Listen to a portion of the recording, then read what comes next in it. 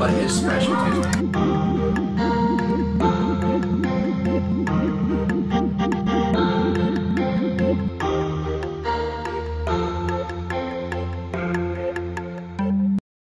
How do you think the team's gonna do on homecoming?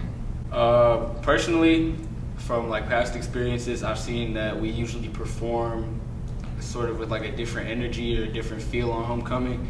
And I don't think that our record or the way we've been playing this entire season is going to be reflected in that game. How is the team preparing for homecoming? Well, I think like us as a whole, we're really working on our energy level. You know, bringing everything we have to every game, and for homecoming, just like the crowd around us and like just everything that surrounds homecoming will make us have like the highest energy level we've had all year. How are you and the team preparing for districts?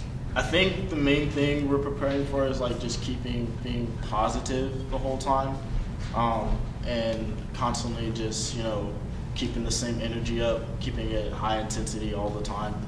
You know, can't slip up once or it all goes downhill. So room for improvement that people can get to the potential that we see in them. Like we have a lot, we have a really young team that in a few years we could be back to at least near the heights that we got to just a couple years ago. So I'm optimistic for the future.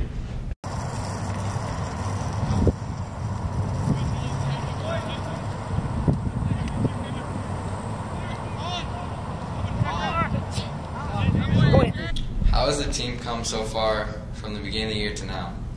Um, I feel like in terms of like team chemistry, we've come a pretty far way.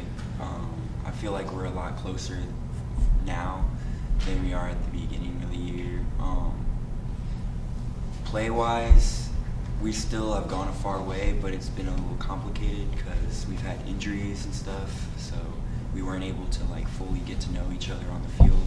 But I feel like as we keep going, we're getting closer together and realizing how each other play.